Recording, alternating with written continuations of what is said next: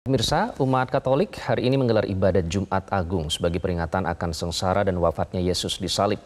Di Gereja Katedral Jakarta, Medan, dan Makassar, ibadat diawali dengan jalan salib. Gereja Katedral Jakarta mengadakan jalan salib pada pukul 9 pagi, disertai drama tentang peristiwa saat Yesus disalib. Hal ini untuk mengingatkan umat Katolik akan sengsara dan wafatnya Yesus disalib untuk menebus dosa manusia.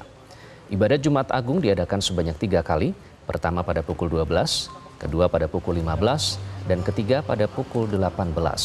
Bagi umat Katolik yang ingin melangsungkan ibadat di Gereja Katedral, harus terlebih dahulu melakukan registrasi di website resmi Gereja Katedral Jakarta. Di Gereja Santa Maria Tak Bernoda asal Medan, umat Katolik antusias mengikuti jalannya ibadat. Ibadah Jumat Agung di Gereja Katedral Medan dibagi ke dalam dua sesi, yakni pukul 12 waktu Indonesia Barat dan pukul 15 waktu Indonesia Barat.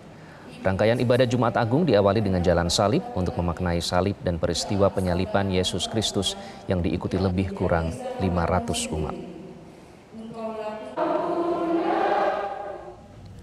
Di Gereja Katedral Makassar, rangkaian perayaan Tri Hari Suci Paskah dimulai dari Kamis Putih, Jumat Agung, dan Sabtu Suci.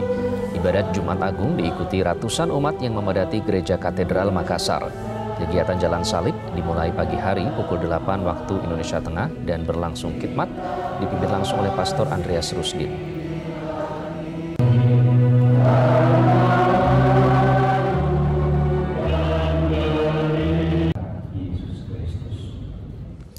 Pemirsa